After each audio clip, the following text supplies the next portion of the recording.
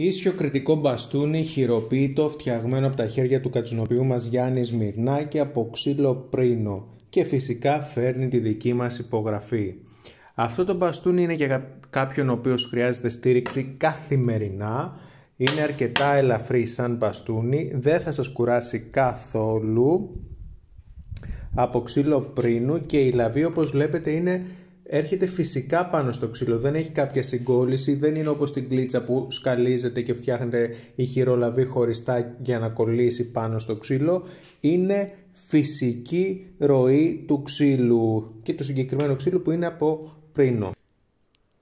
Ένα 17 είναι το ύψος του, 800 γραμμάρια το βάρος, 600 γραμμάρια το βάρος του, συγγνώμη, και 8,5 εκατοστά η περίμετρος του ξύλου σκουρόχρωμο ξύλο, ε, σκουρόχρωμο ξύλο με τα καψίματα σε κάποια σημεία να είναι πάρα πολύ έντονα γιατί ήταν σκληρό έτσι ώστε να πάρει αυτή την ίσια κλίση και φυσικά όπως και κάθε πρίνος έχει αυτούς τους όμορφους ρόζους όπου είναι χαρακτηριστικό του ξύλου πρίνου.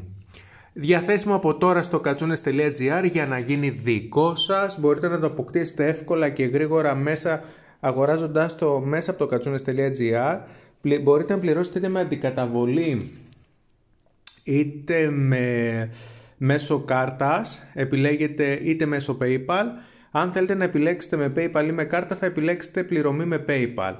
Όσοι έχετε PayPal βάζετε τους κωδικούς σας και κάνετε την πληρωμή. Όσοι έχετε κάρτα επιλέγετε δεν έχω PayPal και προτιμώ να πληρώσω με κάρτα και σας ζητάει μετά τον αριθμό της κάρτας έτσι ώστε να γίνει η πληρωμή. Μην ξεχάσετε να κάνετε την εγγραφή σας στο κανάλι μας στο YouTube έτσι ώστε θα, να βλέπετε πρώτοι όλα αυτά τα ωραία μπαστούνια που φτιάχνουμε για σας. Κατσούνες.gr στηρίξου πάνω τους.